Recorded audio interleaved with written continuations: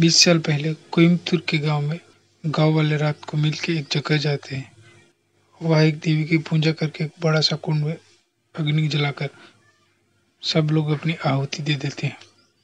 एक बार इसी जंगल में रोबोट नाम के आदमी का मर्डर हो जाता है। उसे एक मकड़ी के जाल में फंसाकर मार दिया जाता है और इसकी इन्वेस्टिगेशन के लिए ऋषि नंदन नाम के अफसर को दी जाती है। ऋषि उस केस को अपने हाथों में लेता है। ऋषि की तहकीकात में दो अफसर मदद करते हैं, चित्रा लोकेश और अयन्नर मूर्ति।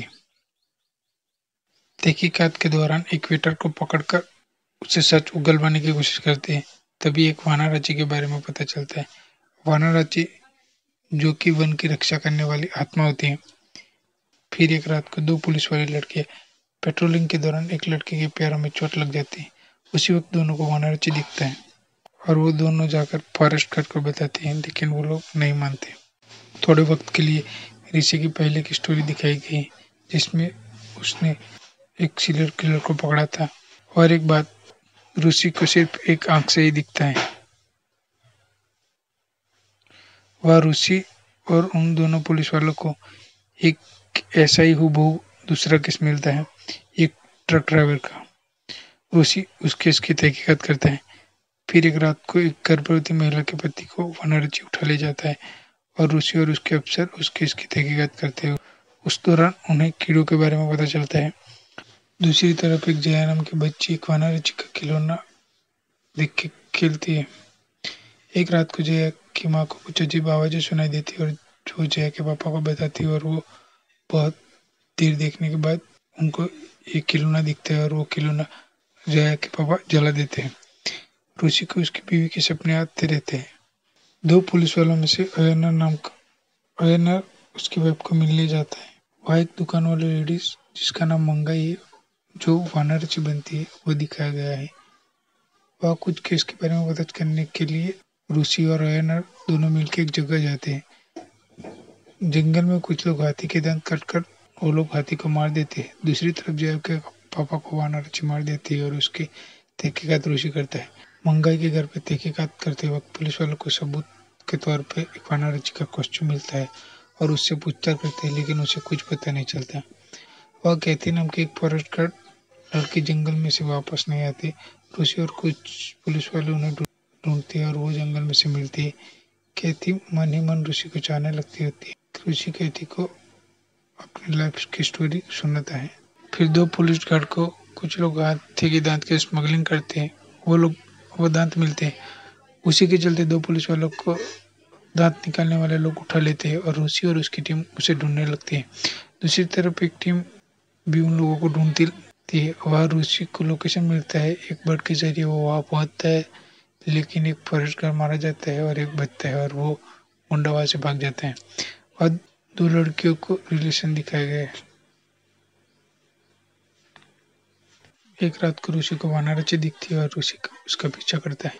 और वो वानारची ऋषि को जंगल में बेहोश कर देती है और सुबह ऋषि की नींद खुलती है तो वो अपने बगीचे में पड़ा हुआ होता है। चित्रा की एक गर्लफ्रेंड है, वो अयनर को पता चलता है। अयनर थोड़ा दुखी होता है, लेकिन वो चित्रा को अपना दोस्त मानता हुआ होता है।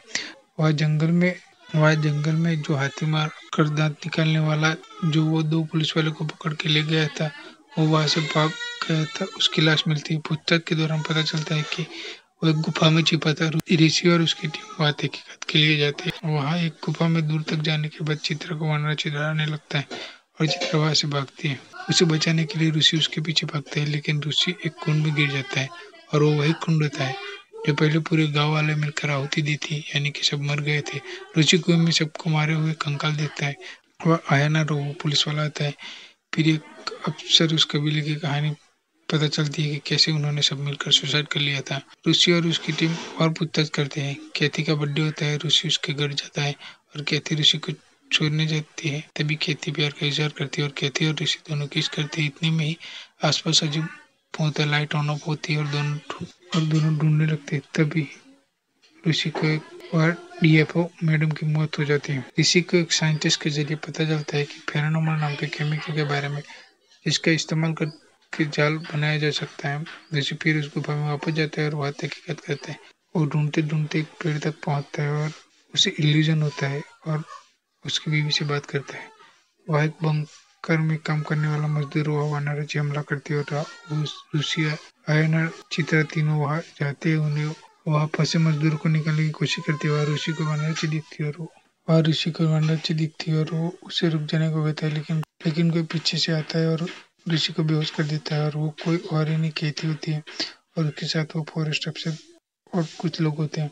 फिर ऋषि उस गुफा में मिल ड्राइंग की तस्वीरों से पता चलता है कि उन्हें, उसने कई सारे पेड़ पौधों से औषधि बनाई जा सकती है, लेकिन उस तस्वीर में पढ़ना और उस औषधि का किस तरीके से बनाने को किसी को नहीं आता सिवाय उस कबीले वालों के। फिर इसी को समझ आता है कि कबीले वालों में से कोई जो ये मर्डर कर रहा है। फिर अग्निकुंड के हादसे के बाद क्या हुआ, ये सब दिखाया जाता है कि वो बच्चे कैसे बच गए, उसको गाँव का मुखिया ने बचाया और मैडम ने कैसे उन सबका ख्याल रखा, वो सब दिखाया गया है। कैसे सारे बच्चों को आने वाली मुसीबतों का सामना किया, वो सब दिखाया गया है।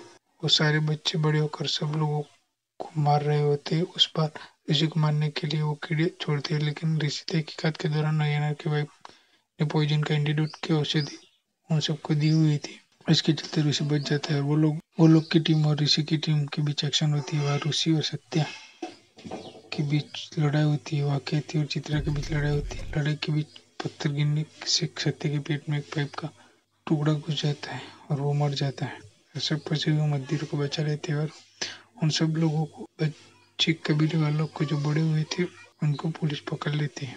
लेकिन ऋषि को समझ नहीं आता कि सत्य एक साल पहले ही पोस्टिंग हुई थी। तो पाँच साल पहले बाला को किसने मारा?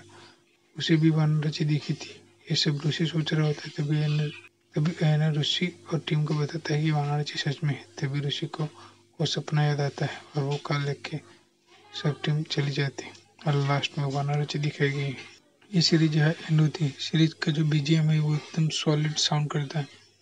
ऐसी फुल मूवी स्टोरी और एक्सप्लेनेशन के लिए हमारे चैनल को सपोर्ट करने के लिए सब्सक्राइब कर सकते हैं। मिलते ऐसे ही खतरनाक और बेस्ट मूवीज़ ये वेब सीरीज़ के एक्सप्लेनेशन में। धन्यवाद।